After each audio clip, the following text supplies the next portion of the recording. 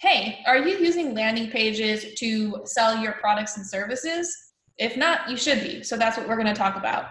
First, let's talk about exactly what a landing page is. The name is pretty self explanatory, but we're going to go into a little more detail. A landing page acts as a standalone web page that you design specifically to market or sell your products or services. It's a page that you send people to when you want them to do something very specific. This means that your landing page should have a very specific call to action or CTA.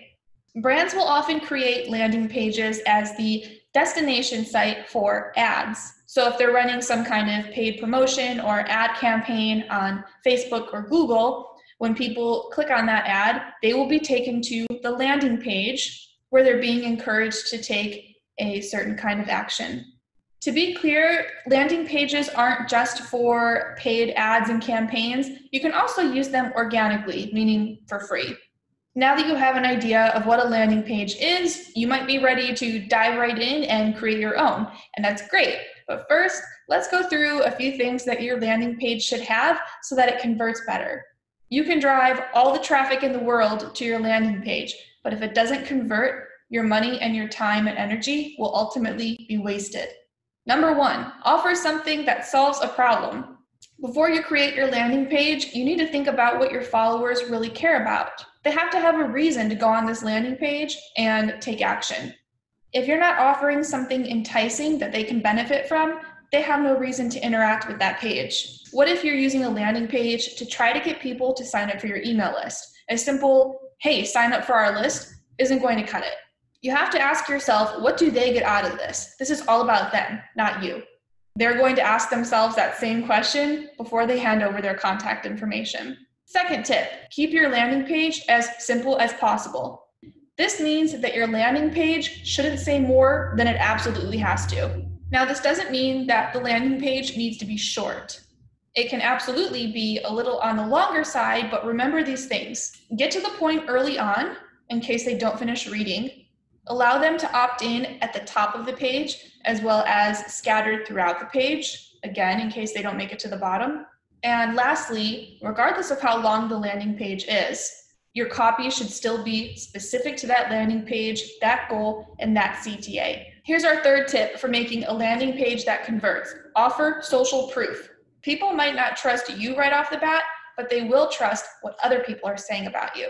Examples of social proof are reviews, testimonials, interviews, and even case studies. Over and over again, research is proving that reviews significantly impact people's purchasing decisions. If you really want to leverage the power of reviews, then consider reaching out to current customers and asking them to record a quick video testimonial for you. And that brings us to our next tip utilize video. A landing page made entirely of text is a huge no no.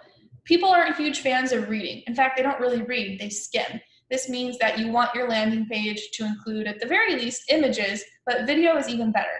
Research is showing that, like customer reviews, videos have a serious impact on people's purchasing decisions. People love videos. They're engaging, they keep them on the page longer, and they really help people connect with your brand on an emotional level. Our next tip for your landing page write a killer headline.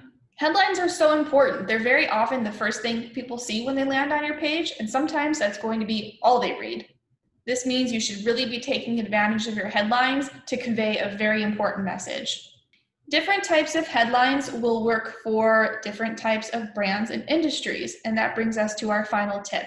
You should split test every element of your landing page the images, the videos, the headlines, everything. The odds of creating the perfect landing page on the first attempt are slim to none, and this is normal. This kind of stuff always takes a little bit of trial and error. The best marketers know that not only do they need to split test, but it's in their best interest because that will help them determine the best path to take. Just remember that when it comes to split testing, test one variable at a time. All right, now that you know what a landing page is and how to create one that converts, you're ready to get started.